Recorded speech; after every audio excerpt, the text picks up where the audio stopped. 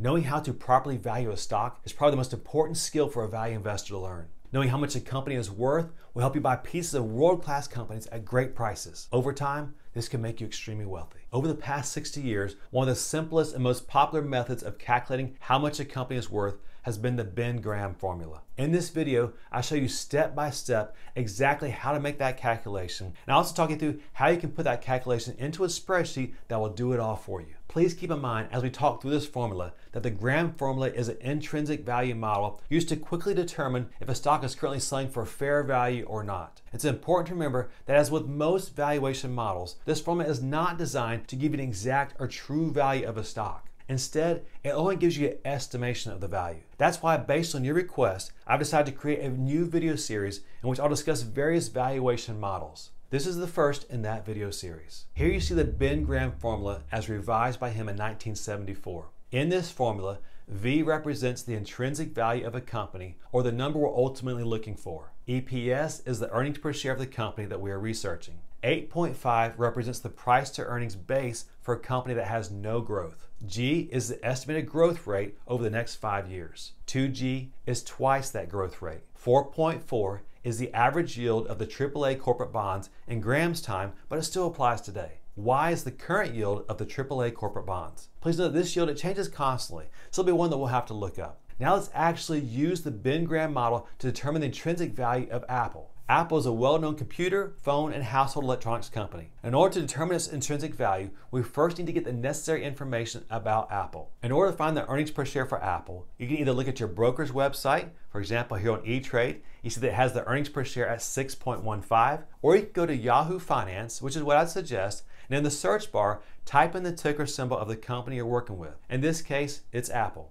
Here you see the earnings per share for the trailing 12 months is 6.14. So you see that we have a slight discrepancy between this and E-Trade. And we're not really going to worry about it because it's 0.01 different. You know how I like to make things as simple and fast as possible. And if you're using Google Sheets to create your formula, an easy way to have this done for you automatically is to use the Google Finance function. And the earnings per share will automatically fill in for you when you change the stock ticker symbol in the yellow box we've labeled above for input data area. For example, here you see that I've changed it to Amazon and it's now switched automatically to the Amazon earnings per share. So you can either input the earnings per share manually or use the formula to do it for you automatically. With the Graham formula, the price to earnings with no growth stays the same. So you can just manually put it in one time at 8.5 and leave it there for future calculations. For the growth weight, we can go back to Yahoo Finance and go to the Analysis tab. Click on it. If you scroll all the way down to the next to last line in the purple box here, you see what analysts are estimating Apple's growth to be over the next five years. And we see that that estimate is 9.91%.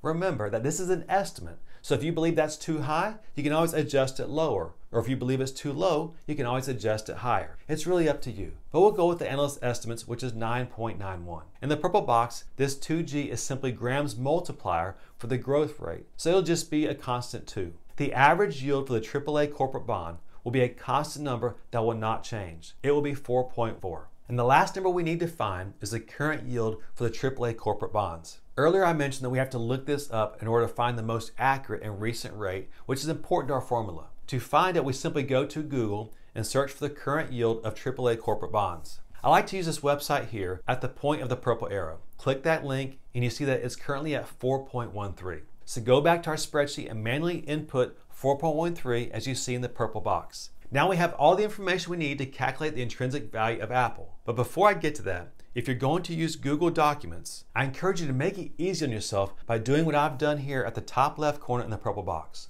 Notice I've made a section here so that I know every time I want to run Graham's formula to get the intrinsic value of a new company, these are the four pieces of information I'm going to need. I'll need the ticker symbol, the growth rate, and Y, which is the current yield of AAA corporate bonds. And then we'll get to the margin of safety in just a minute. So in our valuation model, I've simply set the cells that change to be equal to the cell in the yellow area that I know I need to fill out for each new stock valuation. For the cells that are automated, you can see that they have the automatic Google Finance formulas filled in, so we don't have to do anything with those cells. Once we change the ticker symbol, those cells will change automatically. Now we're ready to create a formula to calculate the intrinsic value of Apple or whatever stock we're evaluating. You see the formula above here, but let me show you exactly how to type it into the formula bar. So we start with the equal sign, open parentheses, and then click the earnings per share cell, and then times, open parentheses, the price to earnings with no growth, plus, open parentheses, the growth rate times a factor of 2, and then close parentheses twice, times the average yield of the AAA corporate bond, close parentheses, divided by the current yield of the AAA corporate bonds. When you hit enter, you see that we now have our current intrinsic value of Apple. In order to make it easier for us to make a decision about whether we want to buy the stock or trade options in it, let's add a little more automation to our spreadsheet here. This will add the current price, the difference between the current price and our intrinsic value, how much a margin of safety we want, and that will produce an acceptable buy price once we get the formula, which I'll show you in just a minute. We also want to have an automated cell that tells us whether we should buy or sell the company. Now let me show you how to get this information. In order to get our current price, we can again use the Google Finance formula up in the top bar here and simply want to reference the cell up top in our yellow area with the ticker symbol and then open quotes and type price, close quotes, and close the parentheses. Then we'd like to see the difference between what our intrinsic value is and the stock's current price. You see that this formula says the estimated intrinsic value is $185.55, and now that our formula has automatically pulled from our Google Finance formula, you see that the current price is $145.38. So our formula is telling us that the stock is currently trading at 78.35% of the intrinsic value. Now, if you wanted to add an additional margin of safety, notice that here in the yellow area, we can do that. If we make it 10%, it will adjust our acceptable buy price. And here's the formula for the margin of safety. Notice that when we adjusted the margin of safety, it went from acceptable buy price with no margin of safety at 185.55 to 167 if we switch that margin of safety to 10%. Here's the formula for this acceptable buy price. Now we want Google Sheets to automatically calculate this based on all our information, including our margin of safety. We want it to tell us if this is a stock that we should consider buying or maybe one that we should consider selling if we own it already. Here you see the formula that will produce a buy or sell signal for you. If you're happy with this formula, then that's all you need. By the way, if you find this video helpful, please hit the thumbs up button.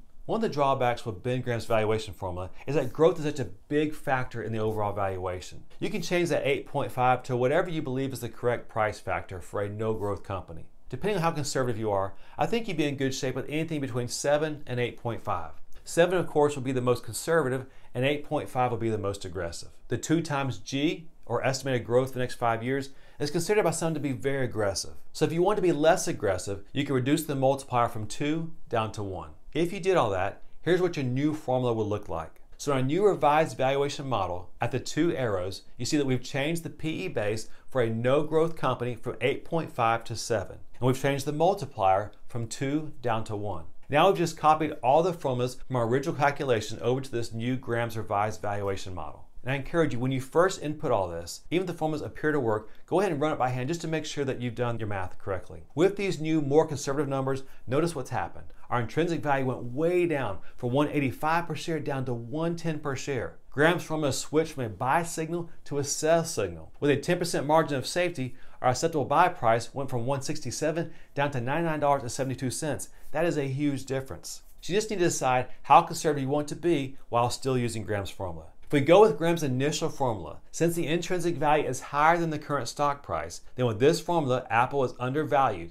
and it'd be a good time to buy stock, do a poor man's covered call, or maybe even sell some cash secured put options in it. Remember that you don't want to decide based solely on this one model. Ben Graham's valuation model, it does give you an idea of what he would think of Apple's current stock price. On the other hand, if you want the more conservative model, you can see the intrinsic value is $110.80. Since Apple's currently trading for 145.38, it'd be considered overvalued, you most likely avoid buying the stock at this time. Or if you sold options, you consider selling some put options below where it's currently trading at. Graham's formula is helpful in getting a quick approximation of the value of a stock so you make a quick decision about whether it's a good time to possibly buy a company or not. Remember, this model is not perfect. In fact, there are many models available to investors to calculate the company's worth and help them decide if it's a good time to buy a piece of a company or trade options in it. As a result, in the coming months, I'll create a video series in which I'll discuss a different valuation model in each video. This video is the first in a series of videos that I'll be releasing in the coming months to help you determine if a stock is trading at a price that these various models tell you is an attractive price